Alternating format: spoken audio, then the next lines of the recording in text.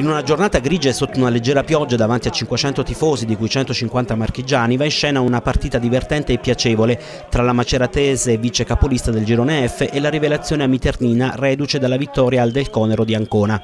Si ferma a tre la serie di vittorie consecutive dei giallorossi che si portano avanti di due gol, ma non riescono a resistere al ritorno dei biancorossi marchigiani che chiudono sul 2-2, un risultato sostanzialmente giusto. Si comincia subito con una palla gol per gli ospiti, al quinto se ne va sulla sinistra Montanari e effettua un bel traversone per Melchiorri, ma il colpo di testa del numero 11 termina di poco alto sulla traversa. All'undicesimo il gol con Gizzi che sguscia sulla destra e vede Pedalino a centro area, bravo ad anticipare il suo diretto marcatore e a segnare il suo sesto gol stagionale. Al diciassettesimo Federici centra in area una buona palla per Moauro, ma il colpo di testa del numero 4 non centra il bersaglio grosso. Dall'altra parte si fa vedere Carboni che è bravo a liberarsi per il destro, ma la conclusione è centrale e Spacca può bloccare con tranquillità. Alla mezz'ora sul rilancio del portiere di casa, Pedalino va alla caccia del pallone ma allarga troppo il braccio e colpisce al volto il difensore Capparuccia. L'arbitro non ha esitazioni ed estrae il cartellino rosso lasciando la miternina in 10 uomini.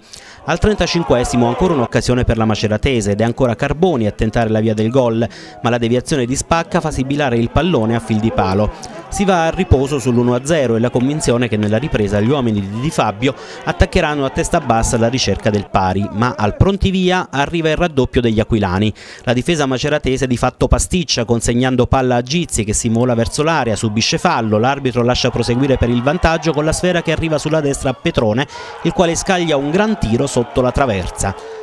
Al minuto 16 viene ristabilita la parità numerica per l'espulsione di Romanski, autore di un brutto fallo ai danni di Berardi.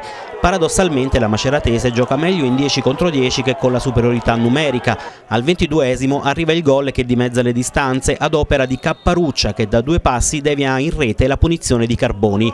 Il pareggio potrebbe arrivare già 5 minuti dopo, quando Piergallini sciupa a centro aria un ottimo cross di Orta mandando addosso al portiere.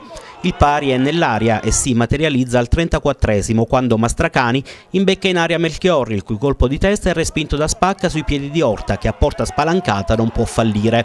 C'è il tempo per un'ultima occasione, questa volta per la Miternina, ma il colpo di testa di Berardi è impreciso e termina lontano dalla porta. Negli ultimi spiccioli di gara la Maceratese sembra averne di più dal punto di vista fisico, mentre i giallorossi di casa appaiono piuttosto stanchi, ma riescono comunque a difendersi con ordine e a portare a casa quantomeno il pareggio. E quando sbagli poi ti castigano. Loro hanno riaperto la partita 2 a 1, a noi è subentrata un po' di paura e quando subentra la paura agli ultimi minuti finali più delle volte la paghi, non abbiamo avuto quella personalità di poter portare a termine la partita a nostro favore.